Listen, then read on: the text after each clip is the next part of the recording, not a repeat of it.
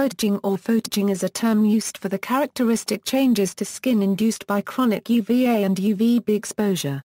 Tretinoin is the best studied retinoid in the treatment of photoaging, the deterioration of biological functions and ability to manage metabolic stress is one of the major consequences of the aging process. Aging is a complex, progressive process that leads to functional and aesthetic changes in the skin. This process can result from both intrinsic as well as extrinsic processes. Photoaging is attributed to continuous, long-term exposure to ultraviolet radiation of approximately 300 to Euro 400 nanometers either natural or synthetic, on an intrinsically aged skin. Effects of UV light equals molecular and genetic changes equals UVB rays are a primary mutagen that can only penetrate through the epidermal layer of the skin, resulting in DNA mutations.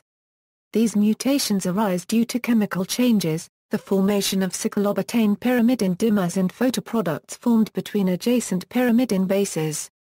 These mutations may be clinically related to specific signs of photoaging such as wrinkling, increasing in elastin and collagen damage.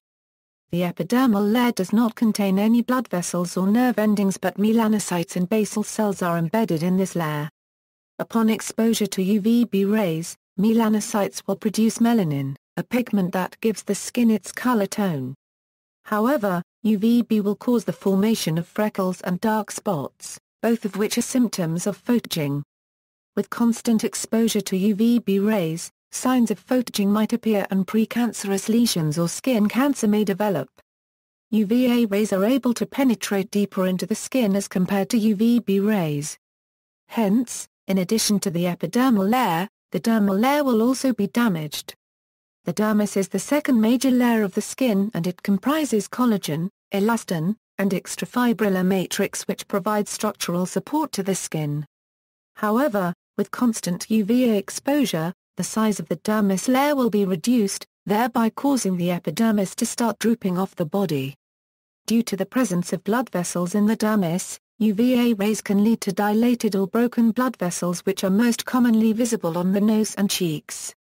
UVA can also damage DNA indirectly through the generation of reactive oxygen species which includes superoxide anion, peroxide and singlet oxygen. These ROS damage cellular DNA as well as lipids and proteins. Equals pigmentation equals, UV exposure can also lead to inflammation and vasodilation which is clinically manifested as sunburn. UV radiation activates the transcription factor, NFIB, which is the first step in inflammation, NFIB activation results in the increase of pro-inflammatory cytokines, for example, interleukin-1, IL-6 vascular endothelial growth factor, and tumor necrosis factor. This then attracts neutrophils which lead to an increase in oxidative damage through the generation of free radicals. Additionally, UV radiation would cause the downregulation of an angiogenesis inhibitor, thrombospondin 1, and the upregulation of an angiogenesis activator which is platelet-derived endothelial cell growth factor, in keratinocytes. These enhance angiogenesis and aid in the growth of UV-induced neoplasms. Equals immunosuppression equals, it has been reported that UV radiation leads to local and systemic immunosuppression, due to DNA damage and altered cytokine expression. This has implications in cutaneous tumor surveillance, the Langerhans cells may undergo changes in quantity, morphology, and function due to UV exposure and may eventually become depleted. One proposed explanation for this immunosuppression is that the body is attempting to suppress an autoimmune response to inflammatory products resulting from UV damage. Equals degradation of collagen equals, UV exposure would also lead to the activation of receptors for epidermal growth factor, IL-1, and TNFI plus or minus in keratinocytes and fibroblasts, which then activates signaling kinases throughout the skin via an unknown mechanism. The nuclear transcription factor activator protein, AP-1, which controls the transcription of matrix metalloproteinases, is expressed and activated. MMP1 is a major metalloproteinase for collagen degradation, this entire process is aided by the presence of reactive oxygen species that inhibits protein tyrosine phosphatases via oxidation, thereby resulting in the upregulation of the above-mentioned receptors. Another transcription factor NFIB, which is also activated by UV light, also increases the expression of MMP9. The upregulation of MMP can occur even after minimal exposure to UV, hence, exposure to UV radiation which is inadequate to cause sunburn can thus facilitate the degradation of skin collagen and lead to presumably, eventual photoaging. Thus, collagen production is reduced in photoaged skin due to the process of constant degradation of collagen mediated by MMPs. In addition, the presence of damaged collagen would also downregulate the synthesis of new collagen. The impaired spreading and attachment of fibroblasts onto degraded collagen could be one of the contributing factors to the inhibition of collagen synthesis. Equals retinoic acids and photo damage equals Retinoic acid is essential for normal epithelial growth and differentiation as well as for maintenance of normal skin homeostasis.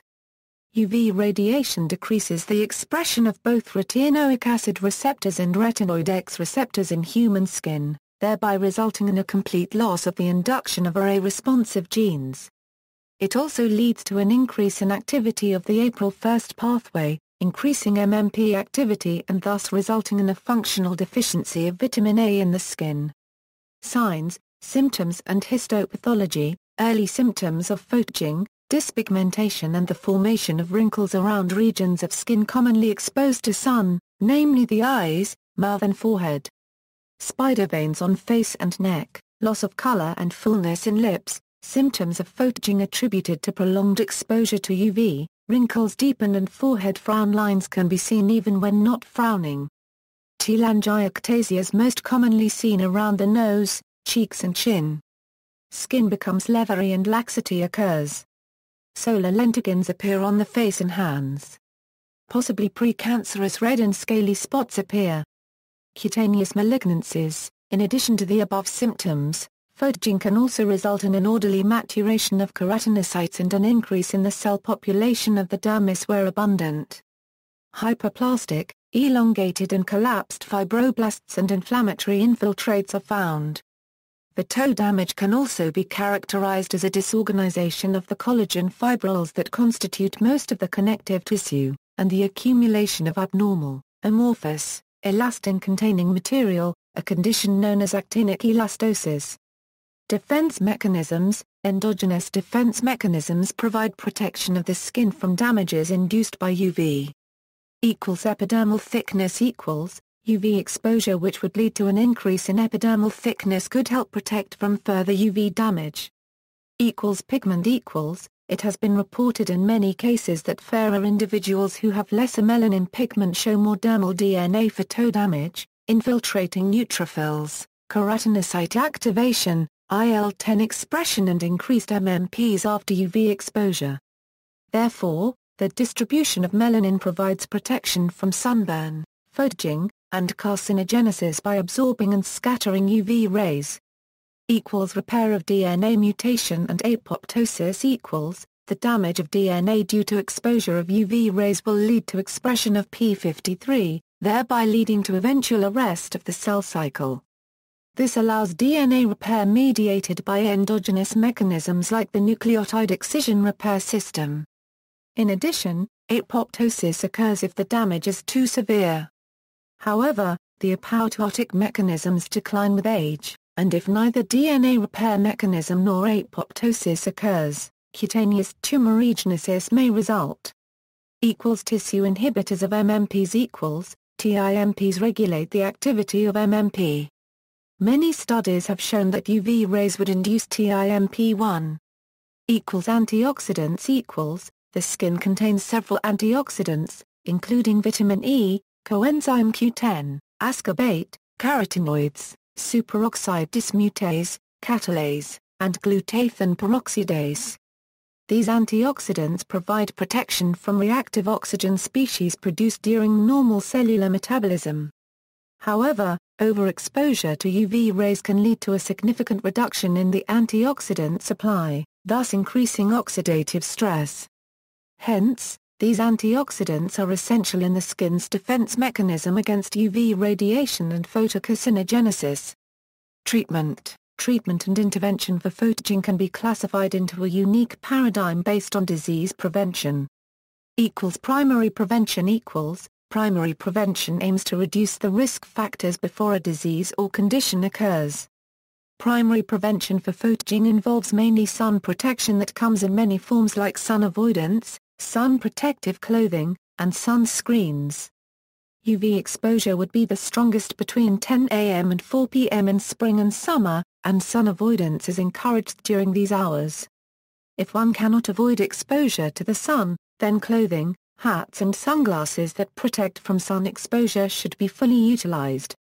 Broad-spectrum sunscreens that have a sun protection factor of at least 30 should be used when one gets frequent sun exposure.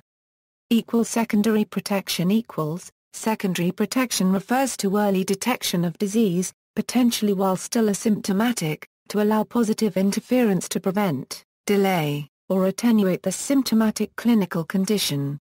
This includes the following, retinoids, antioxidants, estrogens, growth factors and cytokines. Equals tertiary prevention equals, lastly, Tertiary prevention is the treatment of an existing symptomatic disease process to ameliorate its effects or delay its progress. Such tertiary prevention includes the use of chemical peels, resurfacing techniques, ablative or non-ablative laser resurfacing, radio frequency technology, soft tissue augmentation, and botulinum toxins. Photorejuvenation procedures are performed by dermatologists to reduce the visible symptoms. See also, occlusion miliaria, list of cutaneous conditions. References. External links, http, www.biotopics EUW8 PDF, http, www.dermatologycar, http, 911skin.com slash html http, www.skincarephysicians HTML